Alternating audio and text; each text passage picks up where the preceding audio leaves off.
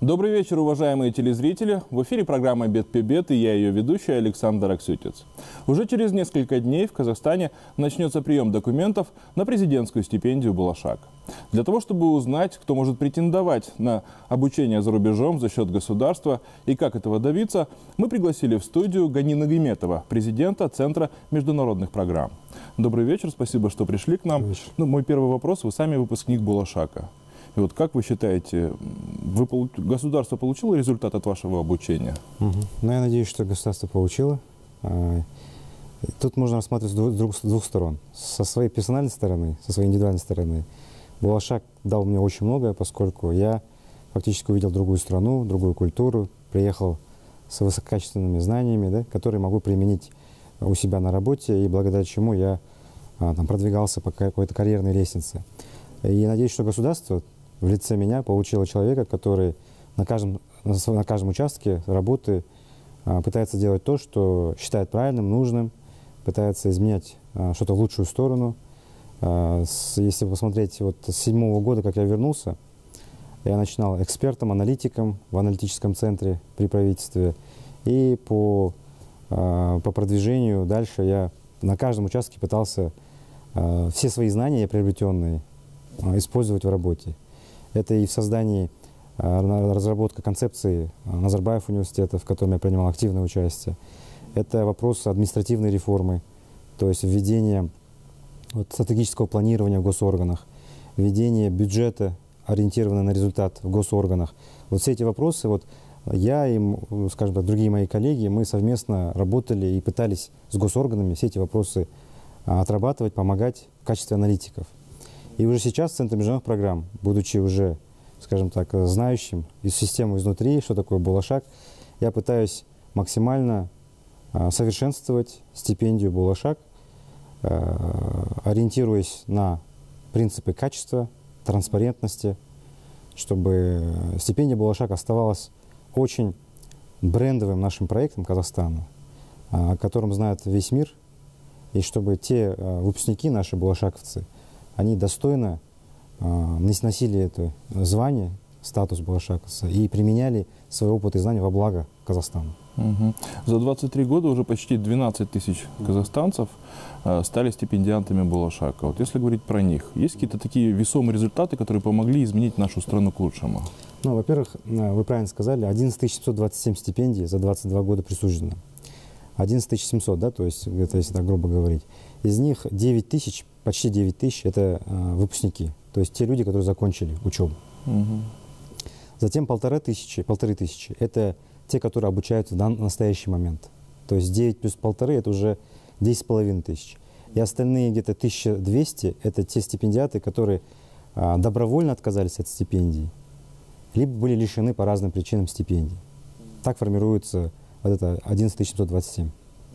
Теперь, э, что касается качественного состава, да, у нас, мы посчитали, мы проводили в прошлом году качественный анализ, 22% стипендиатов программы «Балашах» сейчас занимают, а, относятся к топ-менеджменту. Топ-менеджмент – это руководители, то есть первые руководители а, наших крупных организаций, государственных, частных, и в том числе в государственном секторе. 22%. И с первой волны выпускников, вы уже знаете многих, да, это у нас получается сейчас 4, 5 акимов городов, являются выпускниками программы Буша, включая Алматы, Шимкент, Степногорск, Уральск. У нас три э, замакима областей являются выпускниками программы «Балашак». Четыре вице-министра, в том числе три вице-министра именно Министерства национальной экономики. Без Балашака они бы не добились таких высот? Я считаю, что это вот именно та первая волна, которая уезжала в начале 90-х, вот они уже себя реализовали. То есть это, вот поэтому это мы можем считать, что это первые выпускники, которые показывают конкретный результат. Затем у нас идет новая волна выпускников, это уже после 2000-х годов. Наверное, ко второй волне я могу и себя отнести, и других э, молодых людей, которые сейчас работают и директорами департаментов, а и в квазигосударственном секторе, и в национальных компаниях и так далее. И третья волна, наверное, это бакалавры, то есть которые тоже закончили обучение, вернулись. А многие из них сейчас э, закончили именно по техническим специальностям. Многие из них работают на Назарбаев университете, а, среди них очень много молодых, талантливых сейчас ученых. А, многие из них сейчас занимаются стартапами, инноваторы. Если посмотрите все последние инновационные конкурсы, которые проводились в Казахстане, многие эти ребята выпускники программы «Балашак». Поэтому а, основное, львиное количество балашакцев, большая, большая половина, она закончила именно последние вот 3-4 года назад. То есть э, нужно еще подождать, чтобы эти люди вступили в ряд а, менеджмента, который принимает решения. Я думаю, что мы эффект а, вот этих, от этих ребят увидим вот в прошествии 50 лет. Но вы отправляете на Балашак, чтобы готовить начальников? Нет, это я назвал именно э, топ-менеджмент, это не обязательно начальники, скажем так, госсектора. Это и руководители национальных компаний, это руководители частных организаций, это руководители больниц, поликлиник, школ и так далее. То есть это, ну, я думаю, что э, когда президент задумывал программу «Балашак», ставила задача именно готовить управленческую элиту – потому что а, Балашак не может подготовить для всей страны да, кадры. А, у нас не хватит ресурсов. Поэтому я считаю, что миссия Балашак – это готовить именно управленческую элиту, и не только в сфере госуправления, но и в сфере медицины, что мы и делаем, в сфере э, образования. Очень много у нас, почти полторы тысячи выпускников работают в сфере образования. И учителями, и сельскими учителями, и руководителями управления здравоохранения работают. Это и профессора, преподаватели и так далее. И сейчас у нас активный упор готовить именно инженеров. Но не просто инженеров, которые, а именно главных инженеров, то есть главных технологов. То есть те люди, которые должны привнести а, новое в отрасль свою, да? Они должны быть лидерами в своей сфере, профессионалами. Поэтому вот с этого года у нас а, большой упор будет именно на инженеров.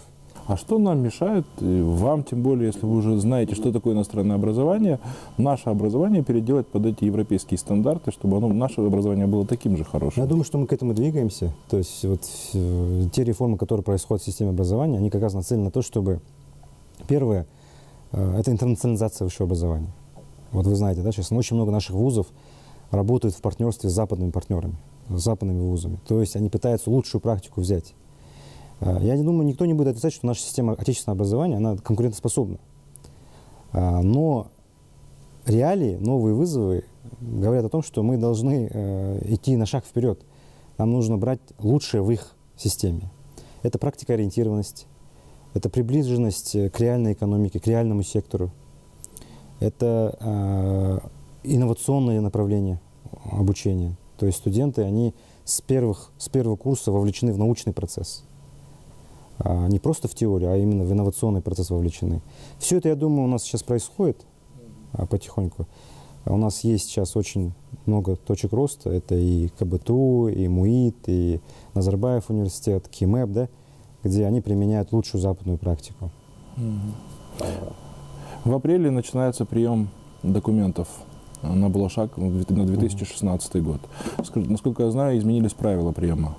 Кто в этом году может претендовать на стипендию и кто ее получит?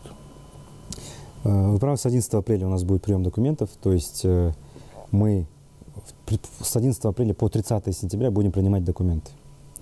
Это уникальная возможность, наверное, сейчас, да, действительно, а, а, на всю страну сказать, что мы будем принимать документы три раза в год и могут подавать самостоятельно поступившие, то есть те молодые люди, которые самостоятельно поступили в зарубежные вузы, то есть обратились на сайт, отдали документы свои, их взяли на учебу.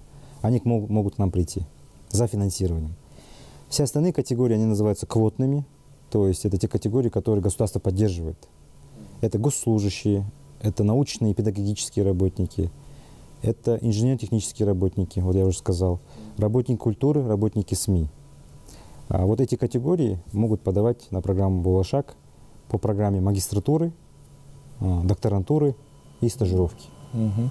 А можете на обычном, более понятном для зрителей языке объяснить, угу. как казахстанец может стать стипендиантом программы «Балашак»? Что он должен знать для этого?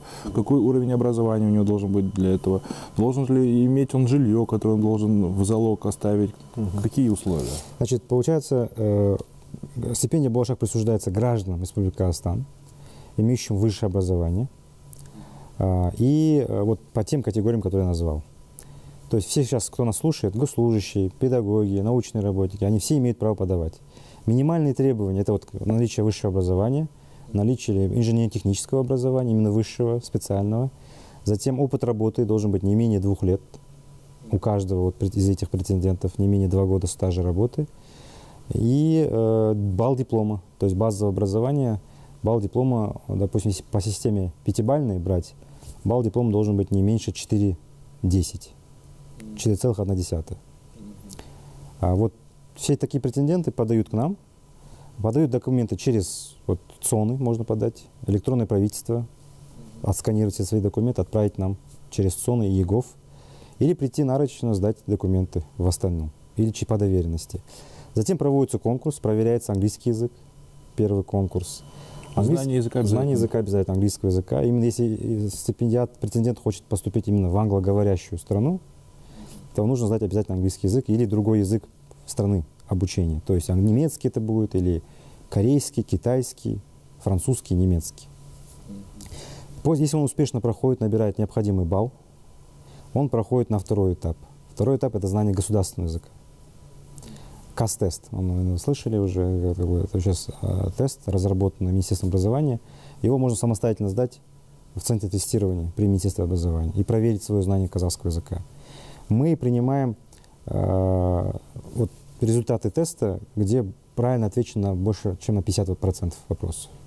То есть, если из 150 вопросов наполовину ответил человек больше, значит, все, он проходит на третий тур. Третий тур – это психологическое тестирование, или мы еще называем его IQ-тест. Проверяется психологическое, психологический э, портрет претендента, его адаптированность, такой, допустим, к возможным стрессам, стрессоустойчивость и так далее. И в целом кругозор, общий кругозор. После этого тура, завершающий тур – это собеседование с членами независимой экспертной комиссии, вот над которым мы очень активно поработали в прошлом году, усилили его состав. Он сейчас представлен, туда вовлечены представители общественности, представители а, различных а, ассоциаций, промышленных ассоциаций. Туда входят государственные служащие. И, что очень важно, входят специалисты по, по, по областям. То есть это инженеры, будь это или ученые. А, с этого года все собеседования будут записываться на видеокамеру. То есть это будет очень, так, очень строгие правила. Мы сейчас уже внесли изменения соответствующие. А, претендент проходит собеседование, обычно задаются вопросы по мотивации, зачем это вообще нужно, а, как, какая цель получения этих знаний по Балашаку, что вы планируете делать по возвращению. Затем вопросы по специальности конкретные. То есть, вот если, допустим, вы инженер, вам могут задать вопросы по инженерной тематике. У нас были случаи, когда подают на математику, мы просим решить какие-то задачи. Даже так? Да, и э, заверша... после, если После всего этого члены комиссии затем уже принимают решение тайным голосованием. И э, такие стипендия, претенденты, которые рекомендованы данной комиссией, после прохождения всех конкурсов, вот этих этапов, им присуждают стипендию. Стипендия присуждается республиканской комиссии при президенте. Угу. А если завтра вам позвонит министр ваш профильный и скажет, надо моего племянника по Булашаку отправить?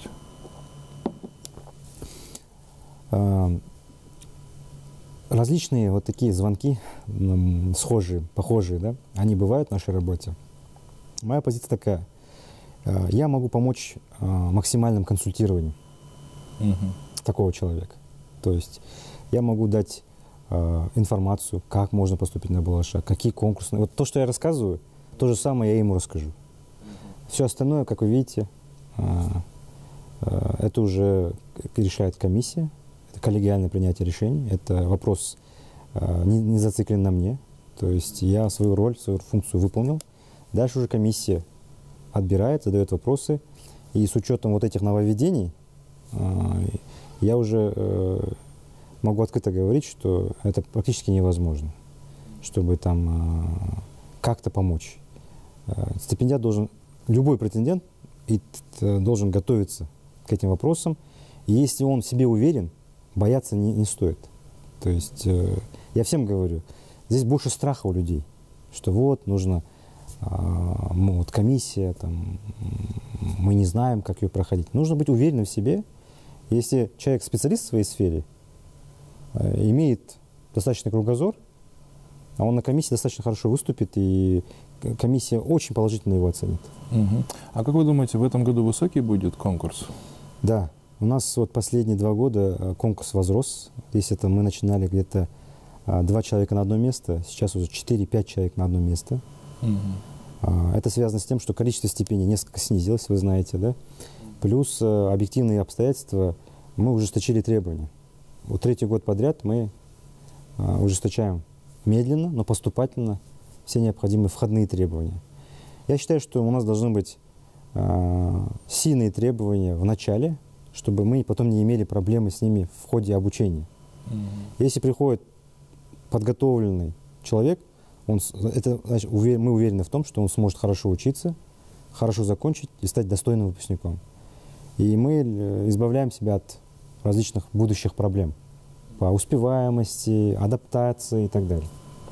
И последний мой мо- вопрос. Если студента отчислили, допустим, после года обучения, после полгода обучения, государство получит обратно те деньги, которые оно вложило в этого студента?